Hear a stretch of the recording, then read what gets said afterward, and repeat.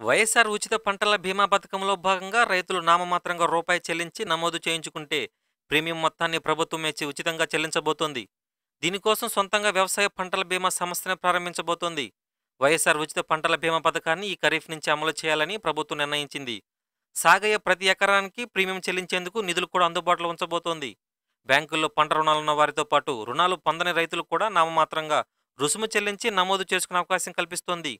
బ్యాంకుల ద్వారా బీమా ప్రీమియం చెల్లించే వారికి ఈ మొత్తాన్ని తిరిగి చెల్లించే ఏర్పాట్లు చేస్తోంది.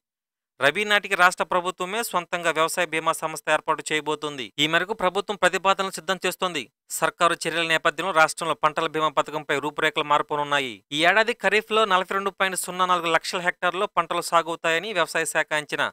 వాస్తవ పంటల సాగు ఎంత ఉంటే అంతకు బీమా ప్రీమియం మొత్తాన్ని ప్రభుత్వమే చెల్లిస్తోంది. పంట రుణాలు తీసుకునే రైతులు మీ సేవా కేంద్రాల ద్వారా నామమాత్రంగా ఒక రూపాయి చెల్లించి నమోదు చేసుకుంటే సరిపోతుంది. రైతు వాటాను వ్యవసాయ శాఖ జమ చేస్తోంది. సాగుదారు రూపాయి చెల్లించి పేరు సాగు చేసిన పంట విస్తీర్ణం భూమి వివరాలు నమోదు చేయించుకుంటే చాలు. రాష్ట్రమే సొంతంగా బీమా సంస్థను ఏర్పాటు చేస్తే ఇతర బీమా సంస్థల దయాదాక్షిణ్యంపై ఆధారపడాల్సిన అగత్యం ఉండదు. పరిహారం విడుదలపై నిర్ణయం సర్కారు చేతిలోనే ఉంటుంది. రైతులు ఏప్రిల్ మే నెలలో నుంచి బ్యాంకుల్లో కొత్త రుణాలు తీసుకోవడం పాత రుణాలకు వడ్డీలు చెల్లించి కొత్త వాటిగా మార్చుకోవడం ప్రారంభించారు. వీరందరి నుంచి పంటల వారీగా ప్రీమియం రుసుమును బ్యాంకులు మినహాయించుకున్నాయి. ఇప్పుడు ఆ మొత్తాన్ని బ్యాంకుల వారీగా ప్రభుత్వం తిరిగి జమ చేయనుంది. రాష్ట్రంలో సాగే మొత్తం విస్తీర్ణంలో నలభై శాతానికి ప్రీమియం రూపంలో ఏడాదికి పద్నాలుగు వందల తొంభై ఎనిమిది కోట్ల వరకు చెల్లించాల్సి వస్తోంది. పంట నష్టపోతే బీమా సంస్థల నుంచి పరిహారం రూపంలో సగం కూడా వచ్చే పరిస్థితి లేదు. అది బీమా సంస్థలను బతిమలాడిప్పించాల్సి వస్తోంది. ఖరీఫ్లో పంట నష్టం జరిగితే తర్వాత ఖరీఫ్ నాటికి చెల్లింపులు చేయడం లేదు.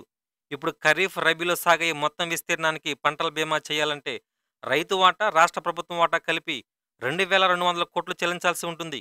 కేంద్ర వాటాతో కలిపితే మొత్తం మూడు వేల ఐదు వందల కోట్లు అవుతుంది. ఇంత మొత్తాన్ని బీమా సంస్థలకు చెల్లిస్తే రైతుకు పరిహారంగా ఎంత తిరిగి వస్తుందనేది ప్రశ్నార్థకమే. ఈ నేపథ్యంలో ప్రభుత్వమే సొంతంగా వ్యవసాయ బీమా సంస్థ ఏర్పాటు చేయాలని నిర్ణయానికి వచ్చింది. రబీ నుంచి దీన్ని ప్రారంభించనుంది. అంటే ఇక మీదట పంట నష్టపోయిన సందర్భాల్లో పరిహారం చెల్లింపు అంశం రాష్ట్ర ప్రభుత్వం చేతిలోనే ఉంటుంది. రైతులకు వెంటనే అందేందుకు వీలుంటుంది. రాష్ట్రంలో ఎప్పటిదాకా పంటల బీమా నామమాత్రంగానే అమలవుతుంది. పంటల వారీగా బీమా సంస్థలు నిర్ణయించిన ప్రీమియంలో రైతు వాటా రెండు నుంచి ఐదు శాతం వరకు ఉంటుంది. మిగిలిన మొత్తాన్ని కేంద్ర రాష్ట్ర ప్రభుత్వాలు చెరో యాభై శాతం భరిస్తున్నాయి. వేరుశనగ మాత్రమే ఎక్కువ మంది రైతులు ప్రీమియం చెల్లించినా పరిహారం సరిగా అందకపోవడంతో చాలా మంది రైతులు వెనకడుగు వేస్తున్నారు. కొంతమంది కోర్టు ఉత్తర్వులు తెచ్చుకుని బ్యాంకులే నేరుగా ప్రీమియం మినహాయించుకునే నిబంధన నుంచి వెసులుబాటు పొందుతున్నారు. ప్రతి పసుపు పంటల సాగుకు ఎకరాకు నాలుగు వేలకు పైగా చెల్లించాల్సి రావడంతో రైతులు ఆసక్తి కనపరచడం లేదు. అందుకే రాష్ట్రంలో ఏటా సగటు సాగు విస్తీర్ణం అరవై లక్షల హెక్టార్ల వరకు ఉంటే నలభై శాతం విస్తీర్ణానికి బీమా చేస్తున్నారు. కొన్నిసార్లు ఇంకా తక్కువగా ఉంటుంది. వేరుశెనగ జూలై పదిహేను నాటితో బీమా చేసుకునే గడువు ముగుస్తుంది. దీనిపై ఇప్పటికే బీమా సంస్థలకు వ్యవసాయ శాఖ ఆదేశాలు ఇచ్చింది.